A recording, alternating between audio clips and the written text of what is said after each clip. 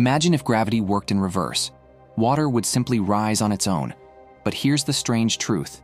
In plants, that's exactly what happens.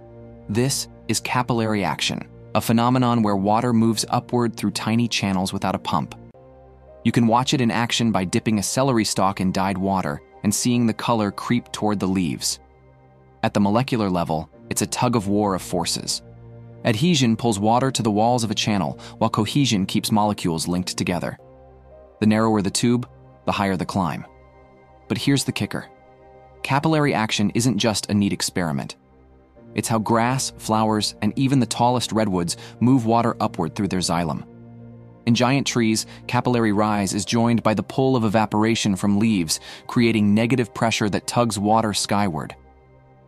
And yet, scientists caution capillary action alone cannot explain how water rises over 100 meters.